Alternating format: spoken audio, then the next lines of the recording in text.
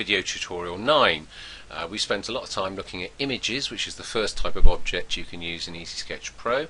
Uh, it's time to move on to the second type of object, and that is text.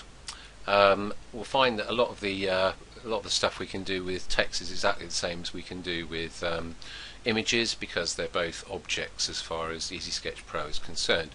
But let's uh, let's go into the uh, image library and let's go to characters and let's bring our hunter on and move him up here, here a bit. We might now want to add some text to go with our image. Uh, to add text you come up here to the big capital A. If you hover over it it says add text. If we click on that we get into the text editor.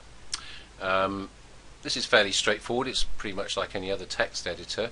Uh, you can see here in the top left hand corner I've got uh, the font Sketch Rockwell, but if we click the down arrow uh, we can see there's the full excuse me full range of fonts that you've got installed on your computer. So uh, as you add fonts to your computer they'll be available in Easy Sketch Pro. We'll leave it with Sketch Rockwell at the moment. We've then got uh, the text font size. Uh, we've got 40 at the moment, but we can move up and down here, all the way down to 5, up to 120. Uh, however, it doesn't really matter because uh, the font size doesn't really matter because we can resize the text after we've uh, put it onto the canvas. So we'll leave it at 40 at the moment. Uh, we've then got uh, normal fonts, bold, italic, and italic and bold. I mean, if you've used the word processor, all this will be familiar with you. And then we've got the colour of the uh, the font is shown here. It's a sort of blue. If you want to change the colour of the font, we click on this button here, which brings up a pick a colour and all the various swatches, just um, just as we had with the background uh, canvas colour earlier on. So we can change the font colour. Let's pick uh, red, say, and then we pick OK, and now we can type anything we like in here this is a hunter, say. And when we're ready, click on OK and EasySketch Pro adds it to the middle of the canvas. Just like, uh, this is just an object like uh, images are, so the hunter was the first on the canvas, has a number of 1, uh, the text is the second object on the canvas, so has number 2. And just like uh, with images, we can uh, double click on the text to select it and then we can put the cursor in anywhere inside the text uh, hold the mouse button down and we can drag it around uh, drag it around the canvas like that. Uh, we can also click on either any of the four uh, blue dots and we can this is what I mean about the font size didn't matter that much because we can change the size of the text this way. We can rotate it just as we can with images and so on. There we go. Uh, again, just as with images, we can select the text, right click, bring up the, brings up the objects menu and we can use uh, all of these various uh, options here just as we had with images. There is an extra one here called edit which uh, is available for text and if you click on that it brings up the text editor and you can make changes. Um, note also that we've got uh, the alignment buttons over here. This is lined left, um, but if we want to align it center uh, or right align it, we can do that as well. Um, also, you can um, put uh, additional lines in just by pressing enter. This is a hunter and he is mad exclamation mark sorry exclamation mark uh, okay so we put the thing and it comes back onto the canvas. Uh, that's uh, left to the lines, but if we wanted it center aligned, we could do that, and we find that the text is now centered. Okay, um, so we can move this around. Let's um, let's go back into here. Oh, sorry, sorry. Let's edit again, and let's make it left aligned, and let's just get rid of that line. Okay. So there we go. Now, let's straighten that up a bit. Uh, the other options Uh, duplicate, uh, clearly we can duplicate the text by clicking on that. Again, it's highlighted, or we can drag it away. That's quite useful if um, you've got a particular size of text, particular colour, and a particular font you're using, and you want to use that consistently with different text. So you can uh, duplicate a piece of text and then come in here and edit the copy to, to however you want it.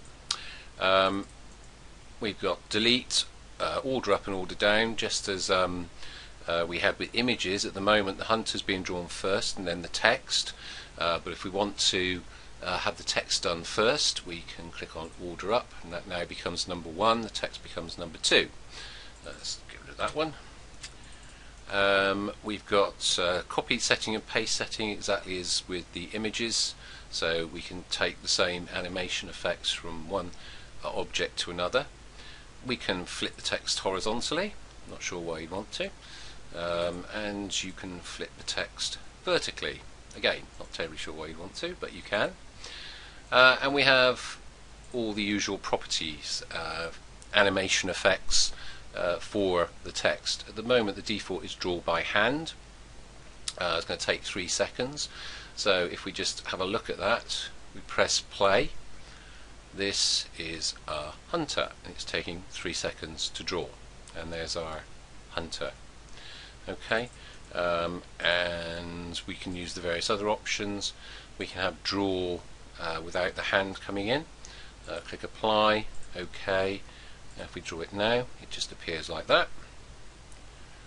Okay, and then the we'll get rid of that and come back here. I'm not sure why that keeps coming up 25 seconds, but uh, it no doubt be fixed. Um, we have got exactly the same as before, drag in, so let's bring it in from the bottom left hand corner and let's have it do it in one second. So we can apply that, OK, press play and in it comes. And then we draw the hunter. And I think you know the form by now. We can also drag in by hand uh, apply and hand will drag the text in. Okay and then finally we have fade in apply that okay and press thing it fades in in one second. And then we get the hunter drawn. And of course uh, we have the same options for exit at the moment it's doing nothing. So the text stays on the canvas. Um, but we can pick uh, fade out. Remember to set a drawing time otherwise it will be instantaneous unless you want it to disappear instantaneously.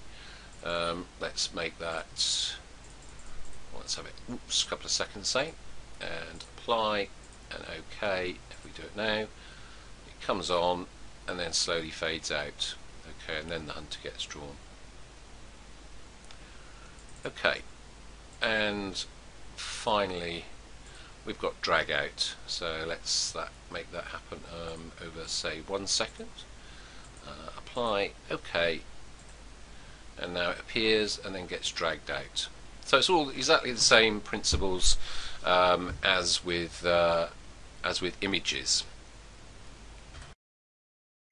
Okay, just one final point I want to, uh, to make on text because uh, I do get a lot of queries along the, along these lines. Let's um, come in and let's write something in Tahoma font. Uh, hello world, say.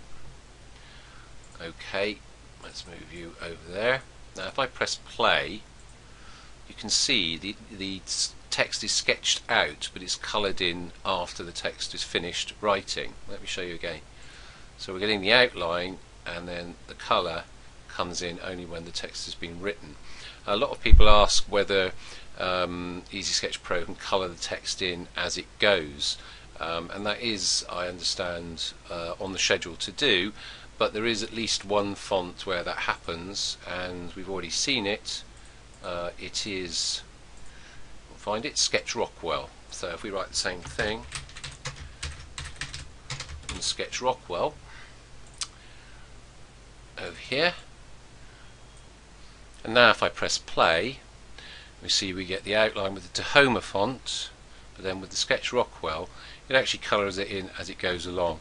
So um, this may uh, not be an issue by the time you watch these tutorials. It may be that there are other fonts, many other fonts where the colouring happens as the lettering is written.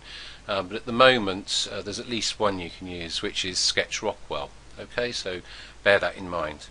Um, and that's the end of uh, the text. As I say, at the end of the day, it's uh, another object, and you can pretty much do everything with text that you can do with images, uh, with the added option of editing. Thanks a lot.